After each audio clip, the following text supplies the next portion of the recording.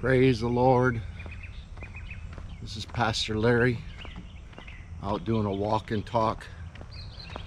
The weather is slowly changing here in Florida. We have two types of seasons. We have hot and we have hotter. Coming into our out of our hotter season just into our hot season. Hallelujah. Well, folks, listen. The Bible says the weapons of our warfare are mighty through God to the pulling down of strongholds. Listen, folks, if you're a Christian, you need to pray sincerely, harder than you've ever prayed. The evil in our politics, the evil in Washington, D.C., the wickedness in the DOJ, the corruption is paramount. And this is my prayer, folks. This is my prayer. I don't know how you pray, but this is what I'm praying. God, either give us justice or judgment. Because, listen, I, am not afraid to die, okay? I know where I'm going to spend eternity.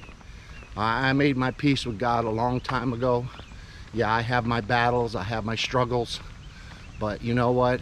I walk with God daily. He's on the, he's the meditation of my heart. He's constantly on my mind. I'm constantly praying and repenting and seeking first the kingdom of God in my life. And, you know, so I know where I'm headed, folks.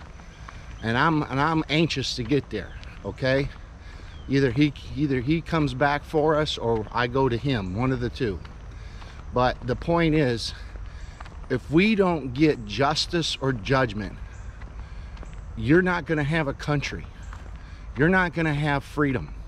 You're going to be a slave. You're going to be oppressed. You're going to be persecuted by the Antichrist, the New World Order political Antichrist system, the beast system. So you need to fall on your face and you need to cry out to God for judgment or justice. And when I mean judgment, I mean God would just pour out his wrath on this nation that everyone suffers equally. Christian and non-Christian alike until they feel the pain where they either repent or they die. That's the only options we have anymore, folks. Because if God doesn't bring justice, then what's the sense of living? Okay? What's the sense of continuing?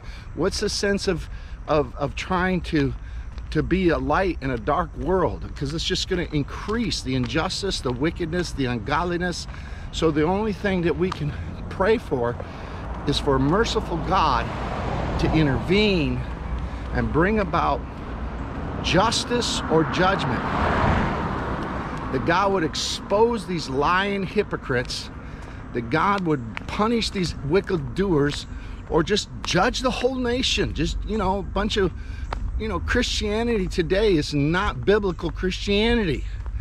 It's traditional Christianity. In other words, it's just a bunch of man-made doctrine, man-made tradition, man-made teaching. Look at the church today compared to the church of the Bible.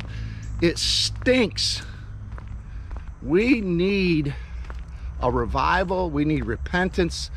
We need either judgment or justice.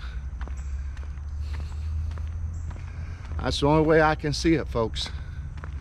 Uh, this world this, this country that was founded upon Judeo-Christian values has turned its back on God with the number one promoter of pornography in the world. The, the, the, the, wicked politicians in DC, you keep voting for them over and over again, kill babies, open our borders to allow drug infection and drug drug uh, epidemics that take place in our country with the the flow of fentanyl.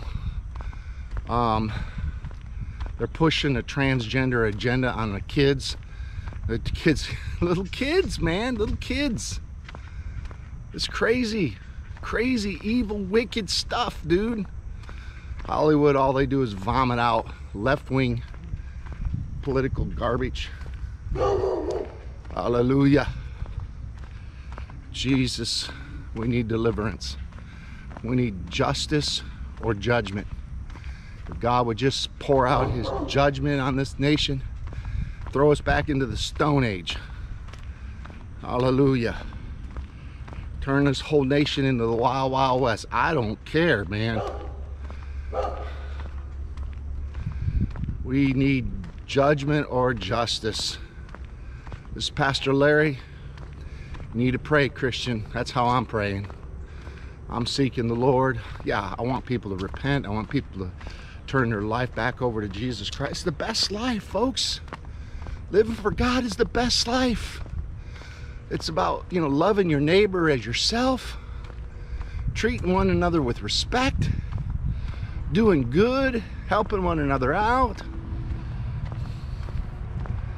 Not pushing some kind of woke agenda, not trying to turn us into a bunch of sexual perverts.